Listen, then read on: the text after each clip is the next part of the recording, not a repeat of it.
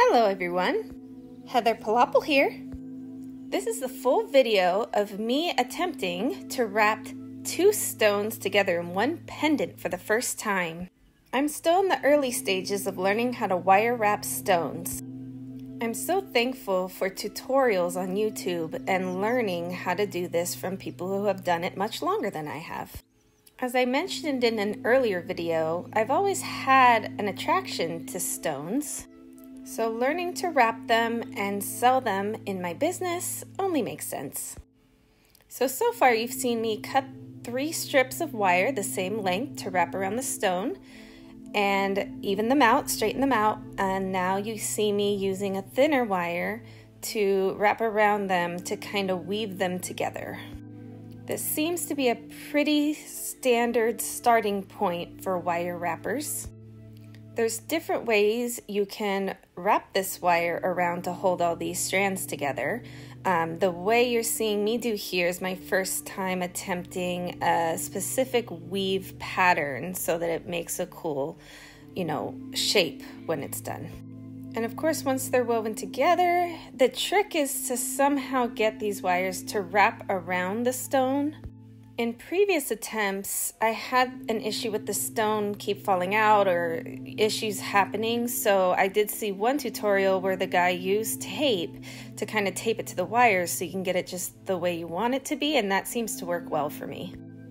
After establishing how these are wrapping around and where they're going to meet at the top, then I take that thinner wire again and I wrap it around the top part to kind of hold all the wires together at this point, I was still struggling pretty bad with, you know, getting that little wire to wrap around, getting it to wrap where I wanted it to wrap, you know, because those wires kind of get themselves tangled with each other, and I haven't quite mastered getting them to really behave the way I need them to.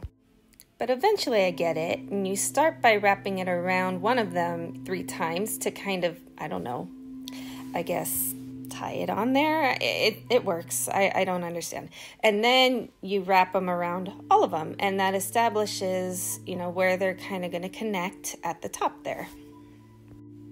When people do tutorial videos of this, somehow they have all these wires kind of wrapped you know, lined up perfectly, wrapped perfectly. Um, I'm not quite there yet, so I'm using a lot of kind of twisting and turning and using my pliers to kind of make it look as even as possible. Now, this is the part where I was deciding, you know, whether or not I should do the next step with the stone in or out. But obviously, I took it out. Um, and now I've decided to kind of get the, I think the back wire, I think I started the back wire, uh, get the back wire kind of stuck out a little bit to hold the stone in because before I finalize that top part winding, I want to get that second stone in there. Um, I'm really glad I did this because uh, where I'd done that wrapping at the top was too low. Uh, the stone just, that second stone just would not, would not fit. I tried different angles. I turned it around. You, you see me. Um, and in the end, it just, it doesn't fit. I tried kind of widening the wires to see if it would go in that way, and it popped out. uh, so, yeah, this is the part where I decided, you know what, I need to pull up those wires that I wrapped. I need more room there to fit that second stone in there, and, you know, did a little more kind of finessing with those wires. And ultimately, after a little more effort, I did get it to fit. And, you know, once it was in there, I was able to work with it. But yeah, there was one point where it actually popped out and and I had to actually stop the video and find it and get it in there. But, you know, once I got it in there, I moved those wires around to make sure it was really, you know, locked in and good to go. I have noticed at this stage, you know, I have all these tools, but for some reason, my fingernail my finger does the best job of separating those wires and getting them, you know, in the positions that I want them to be. I know the tools could help me, um, but maybe I'm just not that good with them yet. So I really took my time on this part. I wanted these wires to kind of sit around both stones in a way where it wasn't hiding the stones. Um, but at the same time, it kept them stable. So once I got that done, I kind of folded back the sides um, that I'll be using to wind and decorate with. And now I'm winding, for the first time, I'm doing a weave winding around what they call the bail, which is the part that kind of curves around that you put the chain through. I wasn't actually able to wind it as as far as I wanted to. Um, I don't know if it's because I was overworking it. I don't know what I might have been doing wrong. Um, but a, a, little down from where I wanted it to end, the wire actually broke on me.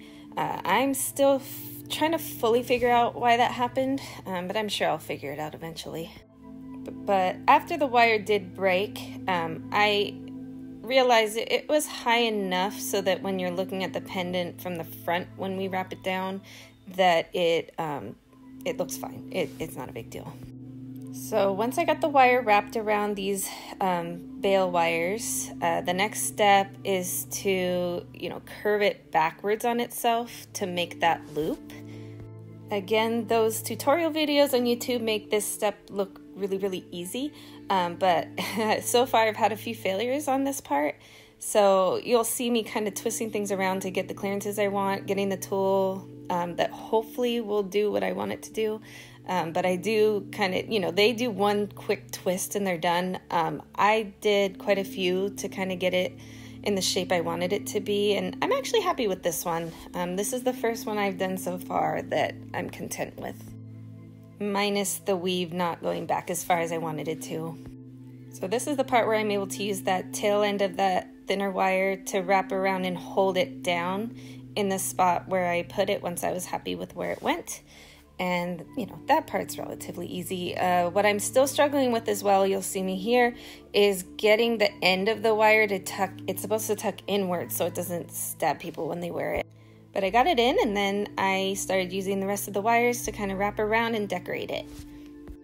I am feeling a lot more confident now with this step. Um, when I first did it, it really stressed me out. But I'm getting the hang of kind of using my fingers, using my thumb, being gentle. Um, I did mess up there, but I was actually able to correct it. Now, what I've learned from the tutorial videos I've been watching on these um, is that they even they do this very organically there's a pattern you're following in the tutorial, but they will show other ones they've done and they're all different.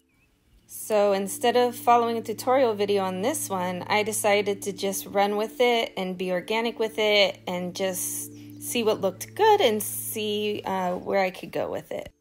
I did one little twist at the top of the bail, like I'd seen in another video, and then I just started wrapping them around one at a time. I like the idea of them kind of crisscrossing over each other, um, interacting with each other, so that in the end it felt a lot more cohesive. And after doing the swirls, I'm really happy with how everything laid out. So the next step is what I struggle with the most, and I um, stressed out about it so much. This is actually the following day I slept on it. But I finally got myself motivated and sat down and told myself, you know, do your best, see how it goes. So all those little swirls and things you saw need to be kind of tied down. So once again, I'm using that thinner wire and I'm looping it and looping it around to kind of tie everything down. In the tutorial videos, they would do, you know, the triple wind around the first wire before they picked up the second one they're tying down, and then they would do another triple wind around that wire again to finish it off. Now, the way I tend to think is how could I do this in an easier way because I'm already struggling with getting that wire to wrap to begin with. So here you're seeing me start on the back side to do my little experiment. And I, I'm hoping that instead of just doing that for each thing I want to wind, I can continue the wind all the way down because there were, I think, three or four different things I wanted to wind back there. And I didn't want to have to keep cutting it and tucking in the wires and cutting it again and tucking in the wires. So I was hopeful I could just continue to carry the same wire down to hold down each little wind that I want to hold down. But you could see that despite me speeding this up five times how long it actually took me, it, it took a while. It just trying to get that wire to go in between the wires and it's just, it's not easy. It's not easy. So by the time I got down to the bottom, to the third or fourth thing I was trying to wind down there, and I was hopeful that I could wrap it back up the other side and really just get everything tied down in one fell swoop, the wire ended up breaking like it did on the bail. Now, I'm a very analytical person, I'm a perfectionist, and when things don't go my way, I need to figure out why. So, after that wire broke, I took a break and I took a deep breath and I really tried to think it through. And I remembered one of the tutorial videos I'd watched, the girl wasn't cutting this thin wire with a, um, a wire cutter, she was actually spinning it a couple times and it was snapping. And that's when I realized when I'm doing these winds and struggling with it, I'm not paying attention to the fact that it's kind of twisting as I go. You can see the light reflecting off of it, how it's all kinked. So I realized what I think is happening is after a certain number of winds and struggles, it's getting kinked and twisted enough that when I go to pull on it, it just snaps.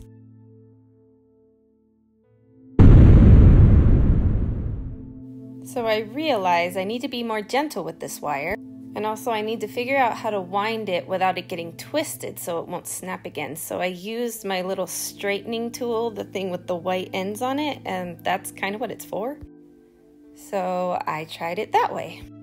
I still struggle sometimes with getting the wire to go underneath and, and wrap it around, but I'm now taking the step when I see the wire starting to get a little twisted or kinked up to use um, that straightening uh, tool. I think that's what it's called. And here I'm trying to kind of tighten it against the wire without breaking it with the, the pliers.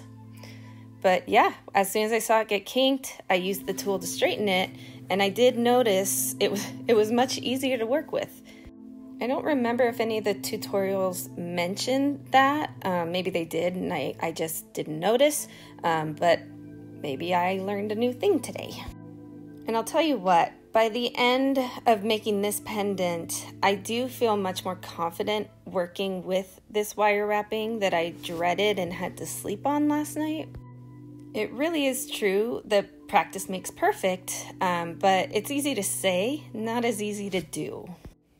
As an artist in my lifetime, I've had to do a lot of practice and make a lot of failures to be as skilled as I am today as an artist. And people love to be amazed and awestruck by the work that I can get done now. But they weren't there for all the blood, sweat, and tears that it took to get to this point. I'm inherently a very patient person, and I'm also a very driven person. So it doesn't matter if it's my first failure or my 50 millionth failure, I'm still not gonna stop trying until I get it. And when people tell me I can't do something, that's even more drive to do it for me. I am now on a mission to prove them wrong when they tell me I can't do it. I had an art teacher in high school tell me I was a horrible artist, I should quit her class, and I should never do art again. That was in my junior year when I was trying to decide whether I wanted to be a musician or an artist. One would ultimately be my hobby, and the other would ultimately be my career, but I loved them both equally. But once that teacher told me that I couldn't be an artist, that that cemented it for me. I was going to art school. I remember my goal at that point in time was I'm going to become the most amazing artist. I'm going to open my own gallery just so that the day she comes walking in, I can tell her to leave that she is not welcome. That has been part of my drive to get to where I am now.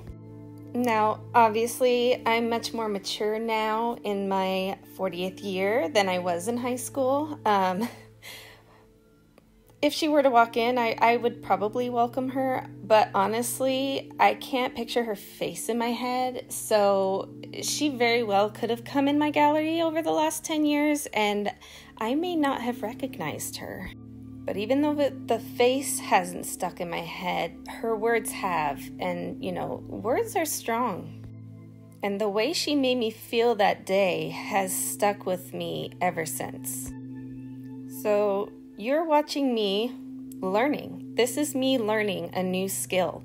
This is me struggling. This is me trying different things until I get it the way it works for me. So even though maybe the way I'm doing it isn't the way others do it, doesn't make it wrong.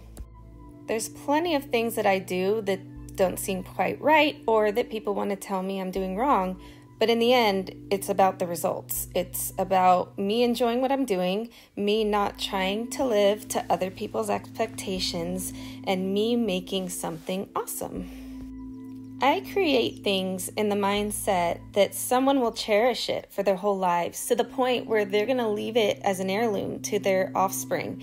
And that this item right here, for all I know, could be someone's prized possession in 200 years. And I'm always thinking about that. I want someone to look at this 200 years from now and wonder. I especially would love it if I could get to a point in my life where 200 years from now, someone looks at it and says, This is a genuine Heather Pilapil artifact. It'll be in an auction somewhere, and people will bid exorbitant amounts of money on it because, you know, I'm that awesome. But today I'm me. Most of the world doesn't even know I exist, which is fine. And I enjoy what I am doing right now. My blood, sweat, and tears are going into learning a new skill. And in the end, it's gonna be amazing and people are gonna love it. I know they're gonna love it. And as a spiritual person, I, I like to imagine that each you know item I create has a little piece of me in it, a little piece of my energy or soul, however you want to look at it, and that this will, you know, live beyond my body. So here I am finishing up tying down all the loose ends, making sure everything's stable, making sure anyone wearing it in the future isn't going to get stabbed by a wire somewhere also considering it maybe getting caught on an item of clothing. We don't want to damage the clothing, nor do we want to damage this. So, you know, it's important that I make sure there aren't any loose ends. And this is another skill I'm working on getting everything to line up and look good and getting those ends tucked in. I'm still struggling with a little bit, but I'm, I'm getting better. I'm just happy to see the improvement in my skill over just picking this up about a month ago. I mean, I love that I'm a fast learner, and I love that I can be proud of even my early pieces when I'm still not confident with what I'm doing. Now, obviously, as a new learner and, you know, still working on my skills, this one being an experiment, there's a lot of wonky things with it. It is far from perfect. So, this will be staying in my own collection and I will be, you know, improving my skills and putting things for sale that I feel are up to my standard that I sell in my gallery that, you know, someone isn't going to look at and think the 3-year-old did it. And that's why for this experiment, I used two stones that I personally am in love with, that I personally wanted to wear on my person, and, you know, utilize the ability to learn new skills to make it into a pendant that I can wear for myself.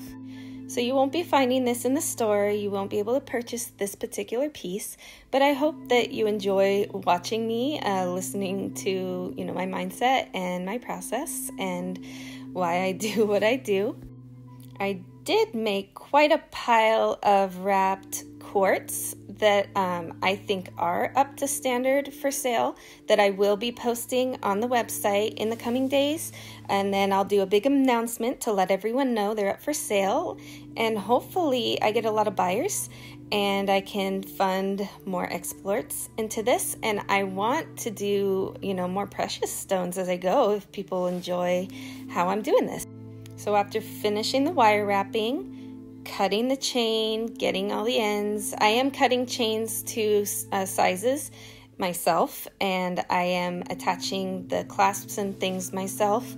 So that means in the future, if you want to order a custom piece, I can make the chain as long as you want. I can wrap whatever stone you want. I think that would be super fun. I'm hopeful people will want that. So thank you for getting this far in such a long video. I really do appreciate your time and I hope you enjoy what I did here in my learning of wire wrapping. Please like, subscribe, and follow if you want to see more.